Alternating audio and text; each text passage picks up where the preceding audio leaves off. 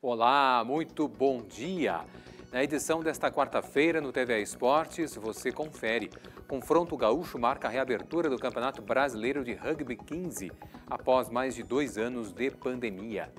Tenista gaúcha garante vaga no torneio de Bonito Springs, nos Estados Unidos. Gabriela Sé é a número 4 no ranking brasileiro.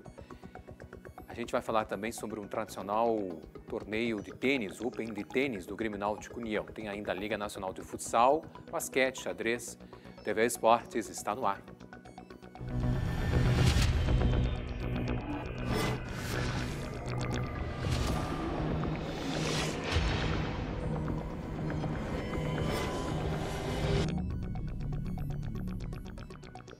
Muito bem. E as disputas por uma vaga nas semifinais do Novo Basquete Brasil estão acirradas. Mas as equipes já eliminadas analisam o desempenho e projetam as possibilidades para a próxima temporada. O treinador do Caxias do Sul, basquete, Rodrigo Barbosa, fala sobre a campanha da sua equipe.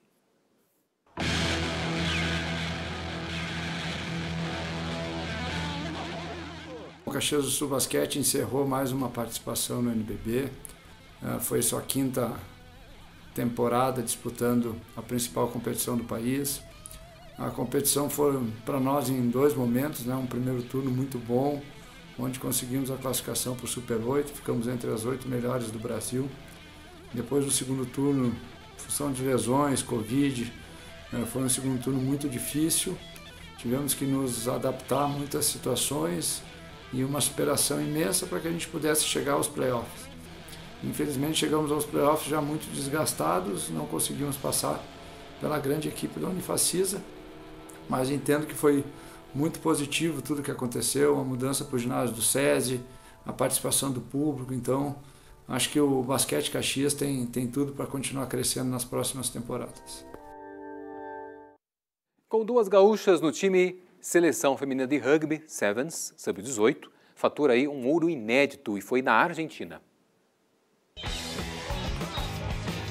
Na primeira participação da modalidade juvenil brasileira nos Jogos Sul-Americanos da Juventude, domingo passado, na cidade argentina de Rosário, as Iarinhas conquistaram o título. Na final, o Brasil venceu de virada a seleção da casa por 21 a 10. O rugby gaúcho foi representado por Kathleen Cristina Cardoso da Luz e Lavínia Vitória Demari Jardim, atletas do clube Vencer Rugby de Pelotas. A campanha das meninas foi de 235 pontos anotados e apenas 22 sofridos em seis partidas. Na fase de grupos, a seleção brasileira aplicou 40 a 0 na Colômbia, 42 a 0 no Chile e 26 a 12 na Argentina. Nas quartas, 26-12 em cima da Argentina e na semifinal, 53 a 0 no Paraguai. Promovidos pela Organização Desportiva Sul-Americana, a Odersur, os Jogos reuniram mais de 230 atletas brasileiros sub-18 em 26 modalidades olímpicas. O confronto gaúcho marca a reabertura do Campeonato Brasileiro de Rugby 15, após aí mais de dois anos de pandemia. O Farrapos de Bento Gonçalves derrotou o Charrua de Porto Alegre por 40 a 7 no último sábado em Porto Alegre. O jogo, que valeu pela primeira rodada da competição, retoma as atividades suspensas há quase 30 meses por conta da pandemia. Promovido pela Confederação Brasileira de Rugby, o Super 12 reúne equipes das regiões Sul e Sudeste. O último campeão foi o São José de São Paulo em dezembro de 2019. Deca campeão gaúcho daquele ano, o Farrapos acabou eliminado nas semifinais da competição nacional. Em seis confrontos com o Charrua pelo Campeonato Brasileiro, essa foi a sexta vitória do Alviverde Serrano, que segue invicto diante de equipes conterrâneas na competição. O Farrapos lidera o grupo da região sul do Super 12 com cinco pontos, ao lado do Curitiba, que derrotou em casa o Pé Vermelho por 39 a 7 também no sábado. Os dois vencedores têm duelo marcado para o dia 14 de maio na capital paranaense. Bom, agora a gente faz um pequeno intervalo e volta em seguidinha mais TV Esportes.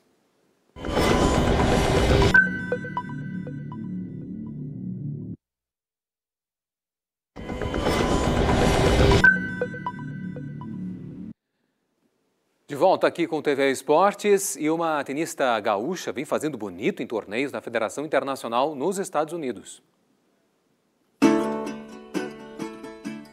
Tenista número 4 do Brasil, Gabriela Sé, garantiu vaga na chave principal do ITF W100 de Bonita Springs, nos Estados Unidos, ao derrotar nesta terça-feira a norte-americana Tatum Evans por 2 sets a 0, parciais de 7-6 e 6-4. Única brasileira na chave, a porto-alegrense estreou com vitória sobre Mara Schmidt, também dos Estados Unidos, por 6-1 e 6-0. É a segunda semana consecutiva em que Gabi fura o qualifying de um torneio oficial. Depois de cinco vitórias seguidas no W100 de Charleston ao longo da última semana, a canhota de 29 anos só foi superada na semifinal contra Xiu Wang por 6-4, 5-7 e 7-6. Mas não foi fácil. Durante as mais de 3 horas e meia de partida, houve 18 quebras de serviço e 46 breakpoints. Cada jogadora quebrou nove vezes. Gabriela Sé criou 14 oportunidades e teve o saque ameaçado 32 vezes. A chinesa, de 21 anos, é a centésima vigésima terceira do ranking mundial, número 292. A gaúcha tem pelo menos 56 pontos a receber pela temporada estadunidense e deve voltar ao top 250 do mundo na próxima lista.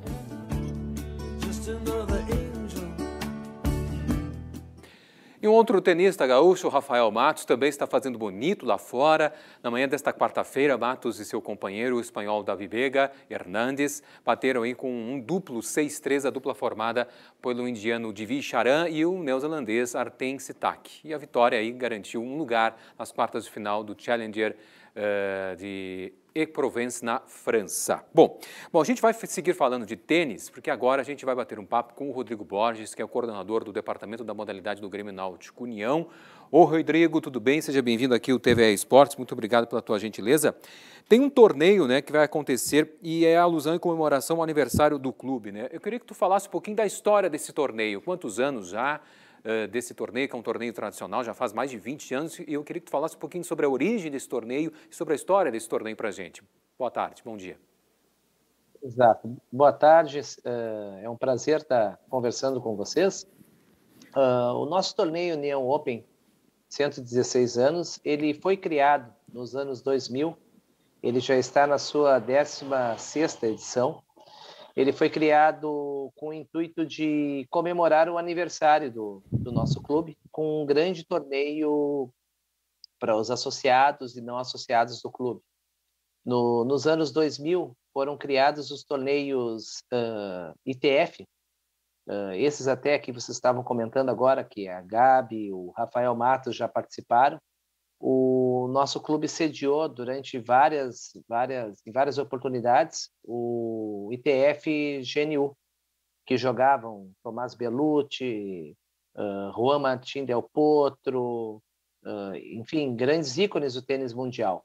E na realidade o clube não tinha um torneio próprio que pudesse trazer esses grandes nomes. E no ano de 2002 foi criado o primeiro União Open de tênis, em comemoração ao aniversário do clube. Nesse torneio, o nosso tenista conhecido André Guem, hoje comentarista de tênis, né, foi o campeão, fazendo a final até com Lucas Engel, e, que foi um dos maiores jogadores também do, da época, né? Uh, onde era um torneio com premiação em dinheiro e vários jogadores da ATP participavam desse torneio, como Eduardo Frick, que hoje é o gerente de, de esportes da, da Confederação Brasileira de Tênis, o André Guem, que já foi citado anteriormente, Marcos Daniel, Cristiano Testa, enfim, grandes nomes do, do nosso tênis gaúcho e nacional participaram desse torneio. Muito bem, a gente percebe aí realmente a tradição, a importância, né? É um torneio em comemoração ao aniversário do clube também. Bom, eu queria que tu falasse sobre o evento, né? Agora, atualmente, né? Que vai até o dia 15 de maio. São jogos em quadras de saibro. Quantos, quantos atletas estão participando? Modalidades, né? Tem masculina, simples, tem também simples feminina, dupla. Eu queria que tu falasse um pouquinho do que, que, está, que vocês organizaram. Eu sei que alguns jogos foram uh, suspensos, né? Em virtude da chuva também. Teve uma situação, né? Exato. Infelizmente, por causa desse ciclone tropical, a gente teve por adiar, o torneio era para começar na segunda-feira, e já de antemão avisando hoje que infelizmente não teremos a rodada de hoje, a, a rodada inaugural. Provavelmente iniciaremos amanhã. Nós temos hoje 220 participantes, tenistas de diversos lugares do estado, uh, divididos em, em, diversas categorias, as categorias chamadas de classes, né, de idades e duplas, masculinas, femininas e mistas. Uh, sendo que a primeira classe, que sempre é a mais procurada, são jogadores profissionais, jogadores de alto rendimento que, que participam dessa, dessa rodada, mais de 20 tenistas. Uh, inclusive tenistas que já tiveram ponto no ranking mundial vão participar.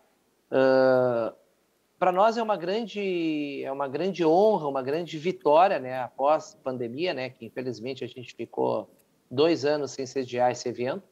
Nós tivemos a felicidade de voltar a ter essa, esse grande torneio no clube e esperamos, né, que, que tenha um, um bom um bom uma boa aceitação dos tenistas, principalmente os tenistas que estão vindo do interior do estado e é claro que é todo um recomeço, porque o torneio ele sempre ocorria todos os anos e com essa parada brusca da pandemia, é claro que o público não é o ideal. A gente já teve 300, 350 participantes.